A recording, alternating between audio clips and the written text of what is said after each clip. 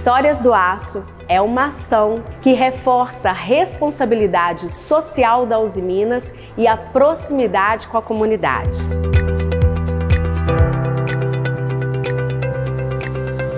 A visita inteira é guiada por histórias de uma forma lúdica, com o objetivo de mostrar que a Uzi Minas, há 60 anos, vem contando uma história que a humanidade conta há mais de 8 mil anos, porque o homem sempre buscou por um metal que fosse forte, flexível, resiliente e que permitisse a ele aumentar o nível da dignidade humana e ele alcança isso com o aço.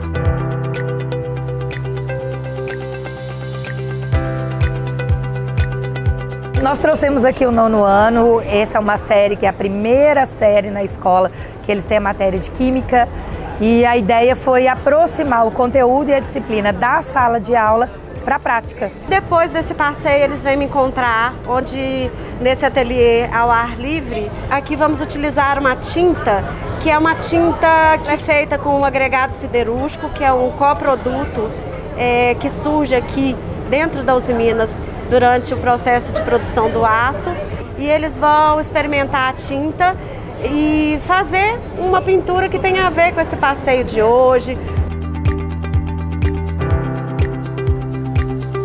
Foi muito importante, pelo menos para mim, conhecer um pouco mais dessa usina que produz aço e é uma matéria-prima assim que a gente usa no nosso dia a dia. A gente acorda, a gente está usando. Quando a gente menos espera, o aço está lá. Eu gostei de conhecer porque é, são muitos detalhes interessantes que a gente consegue perceber, né? A produção de aço, como é feito, né?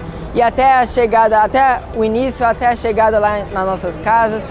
Então foi muito interessante ter visitado e eu espero que no futuro eu possa trazer os meus filhos para visitar também.